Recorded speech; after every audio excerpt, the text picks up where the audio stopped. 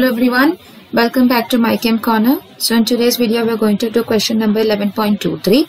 The question reads give IUPAC naming of the following ethers. So there are some of the ethers given here, the cyclic rings, uh, aromatic systems and long chain uh, ethers. Let's see how to name them.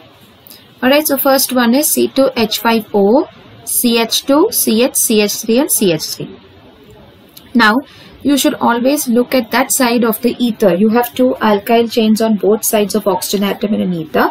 What you need to consider is that side of the ether molecule that has um, longer hydrocarbon chain. Alright, so here if you see on the right hand side, I have a longer hydrocarbon chain here when compared to the other side because other side has only two carbons. But this side I can have uh, 1, 2 and 3 which is the longest one. Now how am I going to number them? I'm going to number that carbon which is attached to the ether linkage. Starting from that I'm going to name that carbon. Now you're going to name that as a separate alkyl group here. So this is a propane chain. So I'm going to put this as propane. Alright. And at position number 2 I have a methyl group. So I'm going to put this as 2-methyl propane. That's going to be my parent hydrocarbon. What about the other one? On the first carbon it is having C2H5 along with oxygen. If it was only C2H5 it will be ethane or ethyl chain. But it is having an oxygen also and when an ether linkage comes as a prefix over here this will be given as 1 ethoxy 2 methyl propane. Okay so it's 1 ethoxy 2 methyl propane. Let me just write that clearly. All right so that is 1 ethoxy 2 methyl propane same concept for the second one I have CH2Cl, CH2CH2Cl on one side and CH3 on the other side. Okay.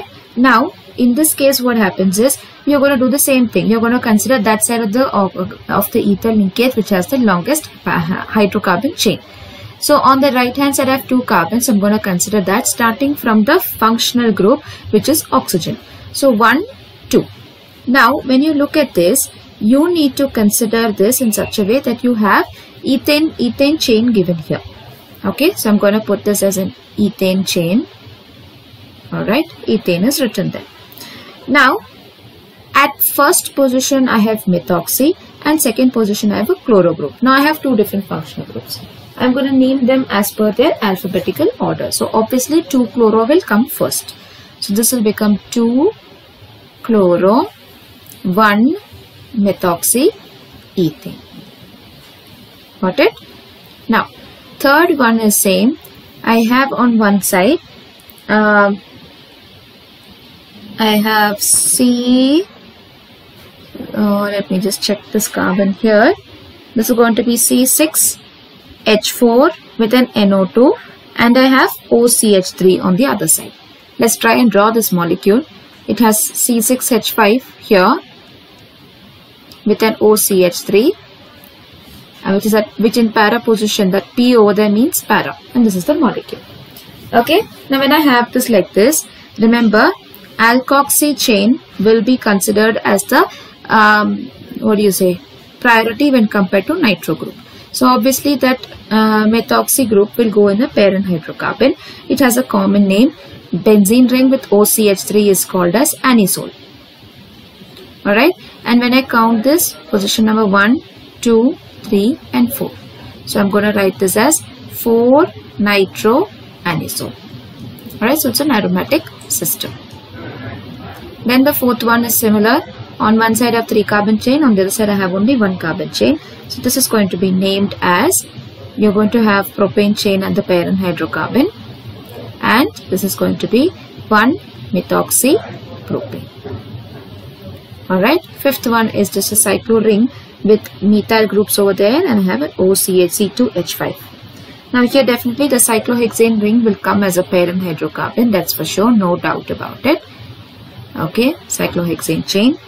Now, I'm going to have this numbered in such a way that the branched carbon will be given top priority. That's what we've learnt well, last year when we did it in detail. So that's going to be given top priority. then you move to number them. So this will be 1 1 dimethyl over here and 4 ethoxy. So obviously when compared to both, ethoxy comes first. So we'll put this as 4 ethoxy 1 comma 1 dimethyl cyclohexane. Alright. Now, last one is benzene ring with OC2H5. This is very simple. It's just an ethoxy bonded to benzene ring. So you can write this as ethoxy NC. Alright, so it's very simple. When you look at an open chain structure, you need to see uh, the side where you have maximum number of hydrocarbon chain and accordingly put them as a parent hydrocarbon. Then the remaining is as usual.